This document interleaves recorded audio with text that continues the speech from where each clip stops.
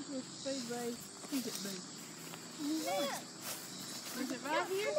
That's why it's so curvy?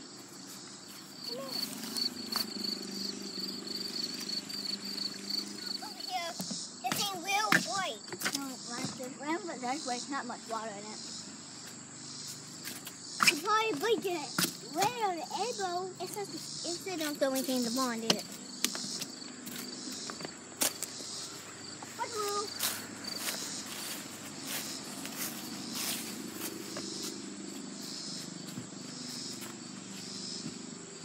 Don't open the door, Jay. It's locked.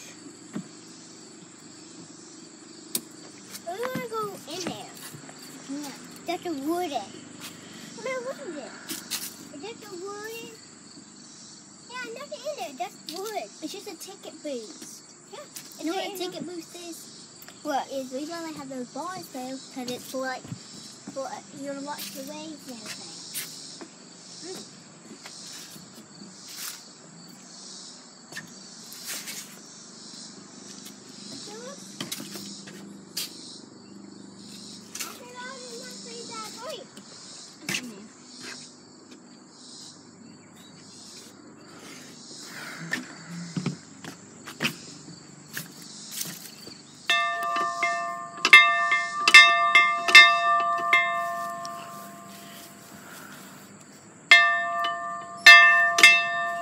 My hmm turn.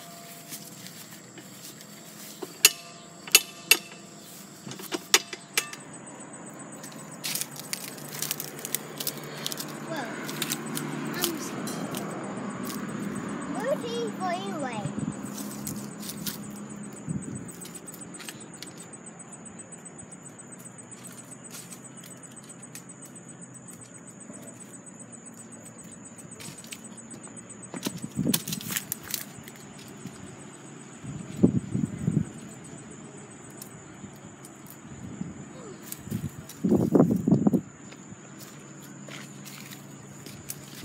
They do that so good.